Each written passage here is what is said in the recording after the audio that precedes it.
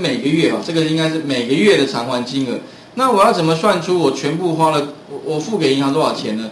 就是把每个月的金额乘上十二，那就是年嘛，一年付多少钱？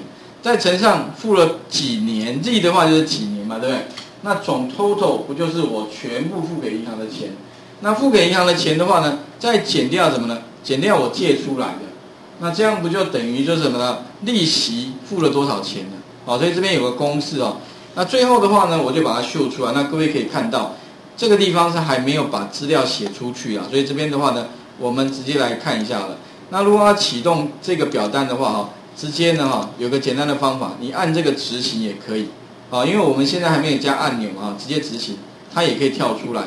那我这边的话呢，假设我今天贷了这个一千万，好，OK，然后下一个是利率两趴，年限是二十年，按开始计算的话呢，它就会帮我把结果秀在这两个，哦，两个里面，有没有？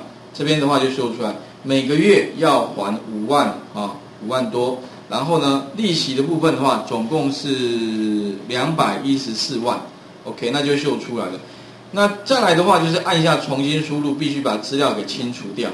那资料清除掉怎么做呢？其实也非常简单，顺便讲一下哈。直接怎么样呢？把这个、这个、这个后面加上什么空字串就可以了。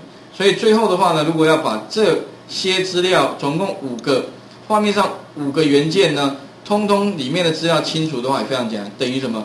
等于空字串就好了。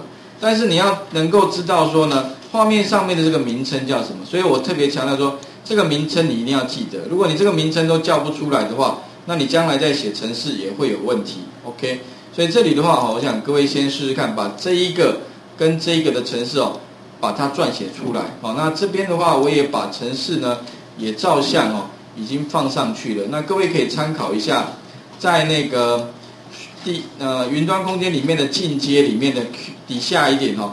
Q 十一好，问题十一的零二这边有个城市，那就会有刚刚我讲的这几个城市嘛。OK，那上面的话也会有注解啊，各位稍微看一下，好，把画面还给各位哦。